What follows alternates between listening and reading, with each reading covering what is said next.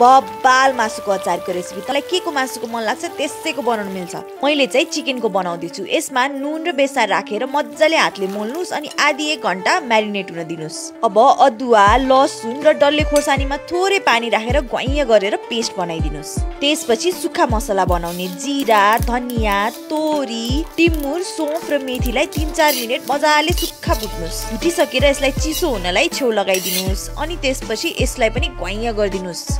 तोरीको तेलमा अघि म्यारिनेट गर्नुभएको मासुलाई रातो हुन्जेल डिप फ्राई गर्नुपर्छ। मासु रातो हुन्जेल डिप फ्राई गरिसकेपछि यो मासुलाई निकालेर यही तेलमा अदुवा लसुन डिप फ्राई गर्नुहोस्। यो पनि रातो रातो बनाउनु पर्छ है। त्यसपछि सुकेको रातो खोर्सानी अघि बनाएको पेस्टलाई एक मिनट जति भुट्नुहोस्। त्यसपछि धुलो मसला सेतो तिल र रातो खोर्सानीको धुलो राखेर फेरि एक दुई मिनट पकाउनुहोस्। अनि बल्ल अघि डिप फ्राई गरेको मासु इम्लीको रस भेनेगर र डिप फ्राई गरेको अदुवा लसुन राख्नुहोस् र यसलाई अब सानो आँचमा पाँच मिनट जति पकाउनुहोस्। त्यसपछि अचारलाई सेलाउन दिएर सिसीमा राख्न मिल्छ। एक महिनासम्म टिक्छ है। अनि फलो फर मोर खानेकुरा।